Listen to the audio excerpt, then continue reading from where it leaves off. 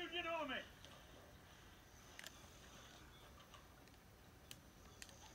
Uh, I suppose so.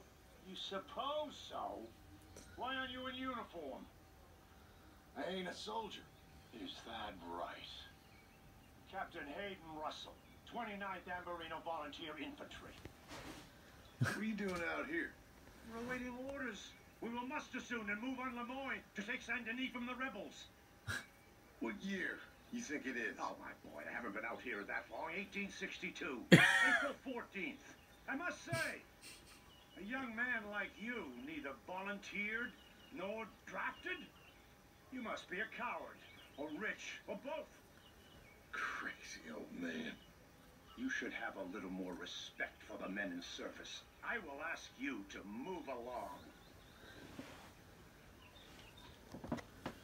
Um, how about no?